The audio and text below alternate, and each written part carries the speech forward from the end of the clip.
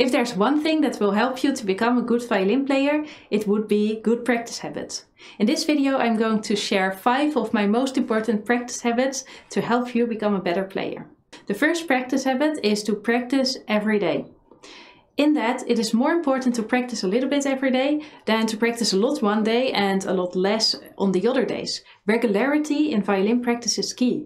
And you will see that a lot of people that have practiced the violin over the years for just a few minutes a day, but regularly for many years, you can see that they became pretty decent violin players, even though they didn't put that much time into practicing violin every day. So your first to do is to Schedule a time in your day that you're going to practice. It has to be only five minutes. Truly don't make it so much that you feel like you cannot stick to the plan. Just a few minutes a day and you will start to notice your progress.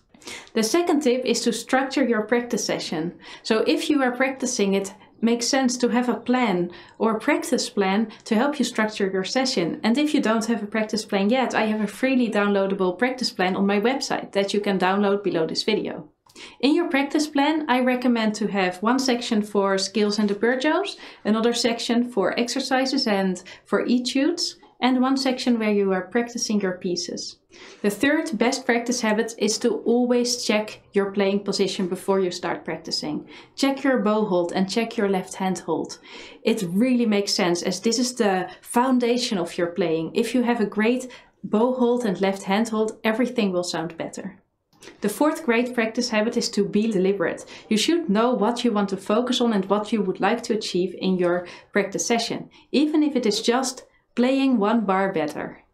The fifth very important practice habit is to practice slowly. Practicing slowly will truly help you to practice things well. So it is a lot better to only practice half of the piece, but really go through every bar slowly and know exactly what you need to do every bar than to rush through it and maybe make a lot of mistakes that you aren't noticing because you are going so quickly. You can always speed up the piece later. I also have a bonus habit for you, and that is to break things up in smaller chunks. So on the moment that you are practicing, it really, really helps if, for instance, you have a difficult section that you don't say, I am practicing four bars and these four bars need to be perfect after my session, but that you really break it down. So maybe you practice one run at a time, maybe first only the first bar, then the second bar, then put them together. So break things up in little chunks so that you can have an overview of everything and then it gets so much easier to play it later on all at once.